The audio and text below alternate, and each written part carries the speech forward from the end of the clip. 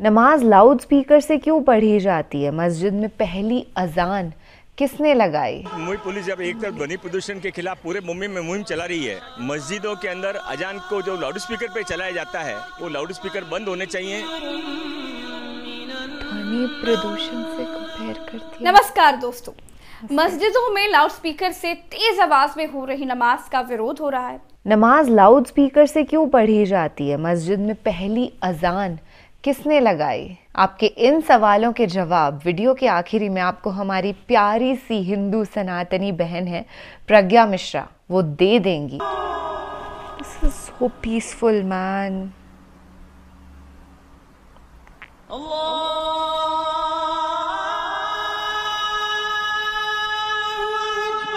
और हमने भी हमारा सिर ढक लिया है क्योंकि अजान की आवाज़ कानों में गूंज सकती है। हे हाय, हेलो, नमस्ते जी। सत श्रीकाल अस्सलाम वालेकुम मैं निधि शर्मा, इंडिया से। और मुझे अजान की जो आवाज़ है, सुबह चार बजे अगर कभी आँख खुल जाए कानों में पड़ती है, बड़ा सुकून का एहसास होता है, पर सुकून का इनफैक्ट एहसास होता है। पर आए दिन हम पूरी दुनिया में ही ये देखते हैं कि कुछ लोग आपत्ति जताते हैं कि लाउड स्पीकर्स बैन हो जाने चाहिए, नमाज़ के केस में अजान नहीं होनी चाहिए। इतनी स्ट्रांगली पावरफुली करिए अजान, पर मस्जिद के अंदर बस जो मुस्लिम प्रे कर रहे हैं, उन्हीं को सुनाई दे। So it's a matter of discussion कि हाउ इट स्टार्टेड बड़ा ही अमीर तरीन इतिहास आज हम एक्सपीरियंस करेंगे। तो देरी कैसी है दोस्त? तालीम हासिल कर ही ली जाए।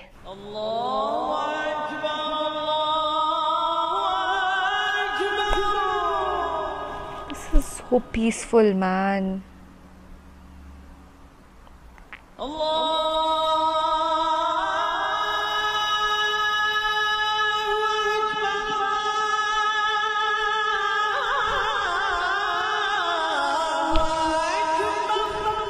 पुलिस जब एक तरफ़ ध्वनि प्रदूषण के खिलाफ पूरे मुंबई में मुहिम चला रही है मस्जिदों के अंदर अजान को जो लाउड स्पीकर पे चलाया जाता है वो लाउड स्पीकर बंद होने चाहिए। ध्वनि प्रदूषण से कंपेयर करती नमस्कार दोस्तों मस्जिदों में लाउडस्पीकर से तेज आवाज़ में हो रही नमाज़ का विरोध हो रहा है। तो क्या आपने कभी सोचा है कि नमाज़ में लाउड स्पीकर की ज़रूरत क्यों पड़ी? मस्जिदों में मीनारें क्यों होती हैं? किसके कहने पर नमाज़ लाउड स्पीकर से अदा की जाने लगी? आज का वीडियो इसी विषय पर। इसीलिए वीडियो पूरा देखें अधकचरा ज्ञान खतरनाक होता है। इसीलिए चलिए शुरू से शुरू करते हैं। दोस्तों कुछ लोग नमाज़ को ही अजान कहते हैं। जबकि नमाज़ के लिए लोगों को ज़ोर ज़ोर से बुलाने को ही अजान कहा जाता है। जो व्यक्ति नमाज़ पढ़ाता है उसे मुअज्जिन कहा जाता है। मुअज्जिन हर दिन पाँच वक्त अजान देता है। मुअज्जिन उसी को बनाया जाता है जो मीठी मीठी आवाज़ में ज़ोर ज़ोर से आवाज़ लगा पाता हो। दोस्तों सबसे पहले मदीना में नमाज़ पढ़ने के लिए मस्जिद बनाई गई। तब मुस्लिम धर्म के लोगों की संख्या बहुत कम थी। तब इस बात की ज़रूरत महसूस की गई कि लोगों को नमाज़ का समय याद दिलाने के लिए और एक जगह पर इकट्ठा करने का कोई तरीका होना चाहिए। पैगंबर मोहम्मद सल्लल्लाहु अलैहि वसल्लम ने जब इस बारे में धर्म मित्रों से परामर्श किया तो चार सुझाव आए। पहला ये कि प्रार्थना के समय कोई झंडा बुलंद किया जाए जिससे सबको पता लग जाए कि नमाज़ पढ़ी जा रही है। दूसरा सुझाव ये कि क्यों ना नमाज़ के टाइम पर ऊंचाई वाली जगह पर जाके आग लगा दी जाए जिससे कि मुस्लिम धर्म के लोगों को पता चल जाए कि प्रार्थना का समय हो गया है। तीसरा सुझाव भी आया दोस्तों कि क्यों ना यहूदियों की तरह बिगुल बजाया जाए। चौथे ने कहा कि ईसाइयों की तरह घंटियाँ बजाई जाए। घंटी सुनकर लोग समझ जाएँगे कि नमाज़ होने वाली है। लेकिन इसमें एक परेशानी थी कि किसी और के धर्म का तरीका अपनाने से दूसरे धर्म के लोगों को कंफ्यूजन हो सकती थी। Yes, इस समस्या से पैगंबर मोहम्मद सल्लल्लाहु अलैहि वसल्लम बहुत चिंतित थे। फिर उनके धर्म मित्र अब्दुल्लाह बिन जैद ने एक सपना देखा जिसमें अजान की बात थी। अजान मतलब तेज आवाज़ में लोगों को पुकारने की। उन्होंने पैगंबर मोहम्मद सल्लल्लाहु अलैहि वसल्लम को अपना सपना बताया।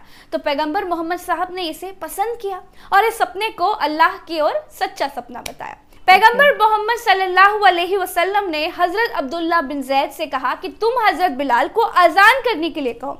उनकी आवाज़ बुलंद है, इसीलिए वो हर नमाज़ के लिए अजान दिया करेंगे। उसी दिन से अजान शुरू हुई।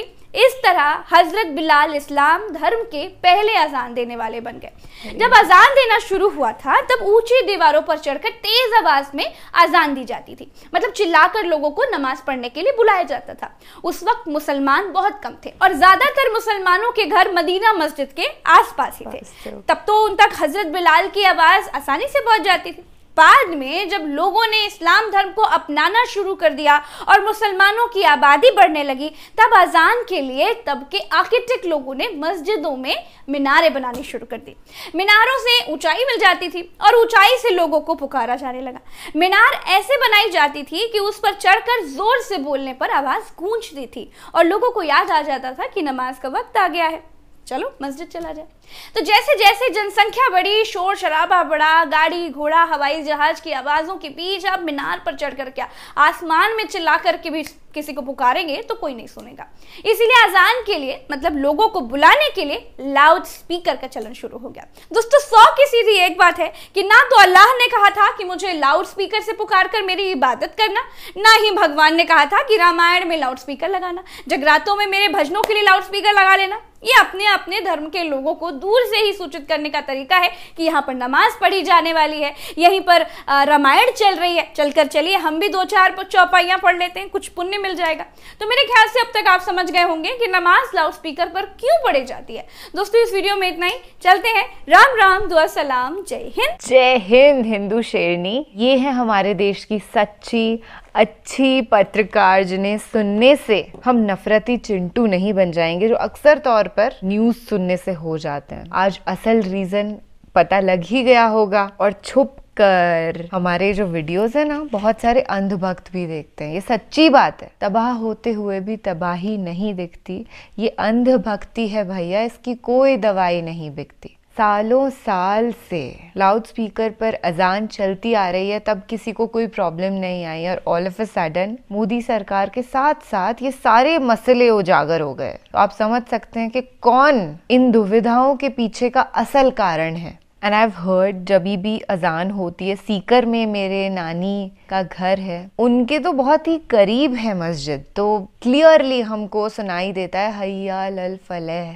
सारे नमाजियों को इकट्ठा किया जाता है और यही होना भी चाहिए, ताकि सबको याद रहे कि पाँच वक्त जो डिसाइड किए गए हैं अल्लाह की इबादत करने के लिए, हम उन पाँचों वक्त पर मौजूद हैं, हम अल्लाह की इबादत कर रहे हैं। हमारे अल्लाह को राज़ी रखने के लिए हम रोज़ाना कोशिश कर रहे हैं। तो आई होप कि इस वीडियो से बहुत सारा प्यार हमारी सोसाइटी में फैला होगा और हम सब मिलजुल करके एक साथ, हमेशा की तरह, प्यार से रहेंगे।